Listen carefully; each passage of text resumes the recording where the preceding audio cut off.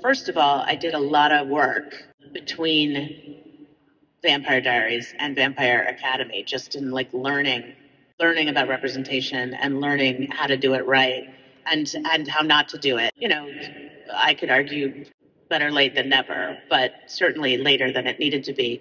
And so for me, everything I do now, Vampire Academy specifically, is all about like representation, inclusion, lifting up stories, centering stories around other people. And and so we really wanted to make sure that we had a cast for this particular show that one was fully inclusive, two was not token, three, you know, um, that like wasn't colorblind.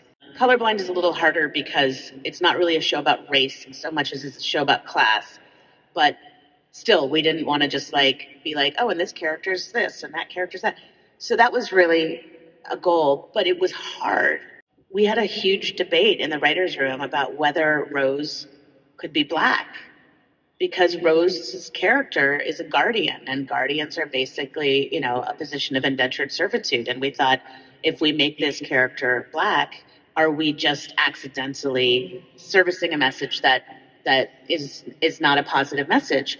And the black writers in the room debated with each other, and some of them felt like, no, I don't think Rose should be black, and some of them said Rose absolutely should be black because how great to have a lead role and a fierce, badass, amazing romantic lead and kicking ass and doing all those things. Like uh, one of our writers was pregnant at the time, and she said, "I want my daughter to be able to turn on the TV and see her on screen."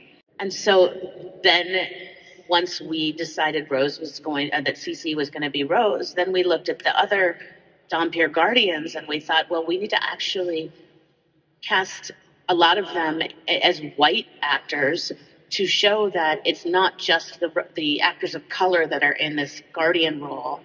Uh, and we need to make sure that the royals, the fancy royals, the queen and Victor and, and all that, we need to make sure that we have a beautiful amount of people of color in these roles. And so there a lot of conversation went into it, a lot of careful, con- you know, careful conversation uh, I was talking to J. August, who plays Victor Dashkov, and I said, We are going to cast your daughters.